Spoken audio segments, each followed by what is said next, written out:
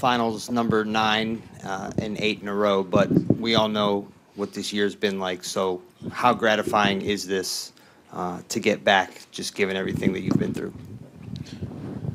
Um, to be honest, I haven't even really kind of processed it. Um, um, I mean, it's just a, it's a great atmosphere tonight to be a part of that. Um, you know, be a part of another game seven, you know, on the road, and um, you know, those are things. Like I said, when you're done playing the game, that you can only dream and wish that you could be a part of that once again. So, um, haven't really processed the fact that you know going back to another finals yet. Um, I know that's where we're that's where we're headed. I commend my teammates and my coaching staff, and you know, and you know everybody that put the work in. You know, even some of you know our staff that you know it's not you know in the limelight or work behind the scenes. Um, you know, this is a complete uh, team effort. Down front right. That's you. LeBron, uh, I thought the um, 2012 game when you scored 48 against Boston was your signature game here. It was. Can you talk about where today fits uh, against in your competition against uh, Boston? Um, I, don't know. I just know it's it's the present, and, and that's what I'm all about. I'm a guy who lives in the present, and um, you know, for me, I just want to try to make plays, you know, tonight to help our ball club win, put myself in position, put my teammates in position to, uh, you know, be um, you know be successful, and um, you know, we was able to do that. Brian, that post-game moment, over here to your left, that post-game moment you had with Al Horford, and particularly Jayson Tatum, uh, can you put that into words, and was anything said between you guys? Um, there was a lot said, um, but more importantly, it's just the mutual respect and the competition. Um, you know, me and Al has, um, you know, we've had a lot of battles in the postseason, and you know, been on a, a lot of All-Star teams together. So I've always had a lot of mutual respect for Al and the way he conducts himself, not only as a as a player but as a professional, both on and off the floor. So, um, you know, that was the moment there. Um, and then with, um, with with Jayson. Um, I just love everything about the kid. Um, the way he plays the game, his demeanor, um, you know, where he come from. You know, I know his parents, um, and, and I just know he's he's just built for, for stardom.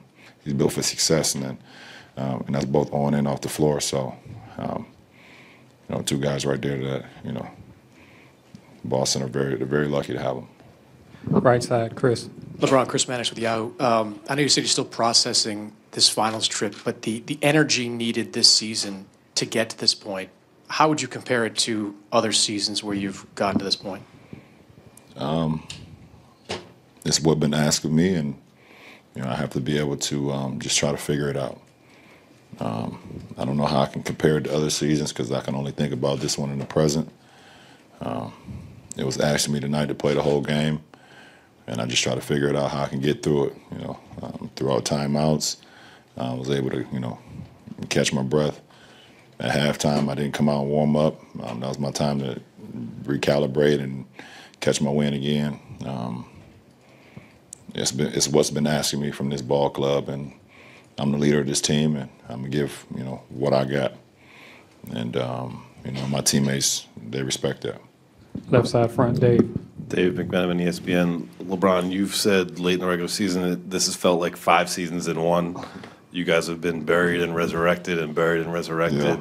Uh, is there a lesson there uh, to be, you know, gleaned where you guys sit now uh, on the brink of the NBA Finals? Well, it's now six. It was five. Now it's six. It's now six seasons in one, and um, I guess this is the last chapter for our team in this season. Um, it's been a whirlwind. It's been, I mean, it's been Cedar Point. Um, sorry for you guys that don't know much about Cedar Point, but it's been a roller coaster, and um, it's been good. It's been bad. It's been, you know, it's been roses. It's been thorns in the roses. It's been everything that you can ask for, and I've always said this has been one of the most challenging seasons I've had, and. Um, but um, like I told you guys, you know, you guys are around us every day. Um, you know, right before the, the break, um, you know, right before the trade deadline, I kind of reset.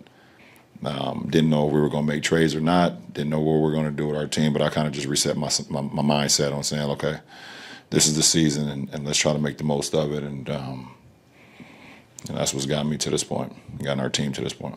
Second row middle.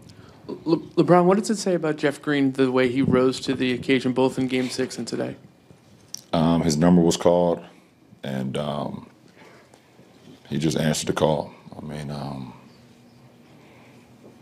he's. I mean, it's amazing. Um, listen, at the end of the day, what he does on the basketball floor is extra credit. This guy had open heart surgery a few years ago, and the game was basically taken away from him. And they said it's possible that you never played a game of basketball again. So, the fact that he can put on a uniform every night and, and, and do the things that he do out on the floor, you know, I don't care if he make a shot, you know, or he make big plays like tonight. Like for him personally, this is, I mean, it's all like you know, it's just the cherry on top for him because he was the game was taken away from him. So for him to be able to just you know, you know, do what he did last game after Kev's injury, and then obviously start tonight, um, you know, it was big time. Back row middle. Clevis Murphy, The Athletic. Uh, LeBron, uh, Ty Lue said that negative Cavs news sells. Just curious how tiring and exhausting it is to hear people constantly criticize your teammates over and over again. I mean, I don't know because I don't. I mean, I don't. I don't really hear it. Um, I don't really get involved in it. I mean, I kind of know the narrative, you know, throughout the season. On you know, if we lose, you know, if we have a bad month, I already know what's going to happen out in the outside world. I've been a part of it. Um, if we win, I know. I know the narrative. I, I get it. I mean, it's all a part of the the storyline. But I mean, me personally, I don't really get involved in it. I'm kind of over that at this point in my career. So, um, but I think you know, Coach Lue, he feeds off of it. Um, some of our teammates kind of feed off of it on just trying to be, you know, people counting us out and, and counting them out personally. So, um, and I think tonight was another example of, you know, people counting our teammate out. Uh, keep, I mean, counting my guys out, you know, saying that they've been struggling, and they won't play well on the road and whatever the case may be, and counting my coach out. And um, I think they all rose to the occasion. Jason.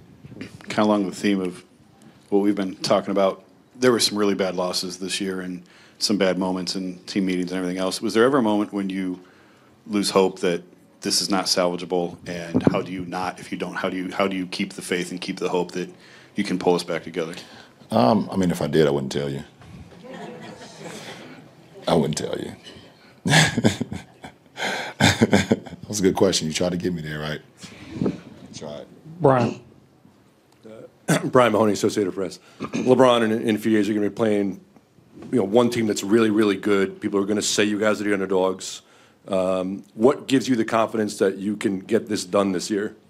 I mean, at the end of the day, um, you know, the game is won in between the lines, and uh, we have an opportunity to compete for a championship. So, I mean, that's all that matters. No matter you know what the storyline is going to be, no matter you know if we're picked to win or not. I mean, let's just go out and play ball. You know, we're gonna have a great um, have a great game plan. We're gonna try to get better throughout the series and see what happens. So, um, you know, for me, I, I mean, I don't know. I'm kind of like the wrong guy to ask because I just like to compete. I have a love for the game. I have a passion for the game, and um, you know everything else to take care of itself. Jeff. Jeff Zillgitt, USA Today. Le- LeBron at 35 23. What let you know, even though shots weren't falling for you and your teammates, that it, it was possible to get back in it and, and win the game? I think defensively we were just um, very, very sharp, um, very, very sharp, and uh, we were flying around, we were moving around, and it continued to just keep us um, into the game. Um, you know, so um, even with some of the plays that we made in the first half, where we weren't knocking down shots, I always just kept my confidence in my teammates and know that you know if I had the same opportunity in the second half, they was going to knock them down, and they and they did just that. Last one, Steve. With this, with this streak, um, you've had a conference full of rivals that have been trying to catch and pass you and your teams. Um, is there cumulative satisfaction to knowing that whoever it is, however long they've tried, none of them has done it yet? Um, I mean, it's been a satisfaction on the fact that you know I like to be successful, and um, but more importantly, just the work that I put into it. Um, I mean, it's every every single day um, work ethic that I have um, while I'm playing this game. While I have the ability to play this game at this level, um, I, I, I love the competition, and, and I think about the teams that I've played over this run, and, and the players that I've played over this run, um, slightly. Um, but more importantly, me just being healthy. I've been healthy, um, you know, throughout this run, and and um, you know, I put a lot of work into my body, into my craft, and um, being available to my teammates and being available to my friend, the two franchises that I've been with and throughout this run is what's been more important to me than anything. Um, you know, always being available. So um, I'll be available for uh, for at least four more games, and um, and we see what happens. Thanks, LeBron.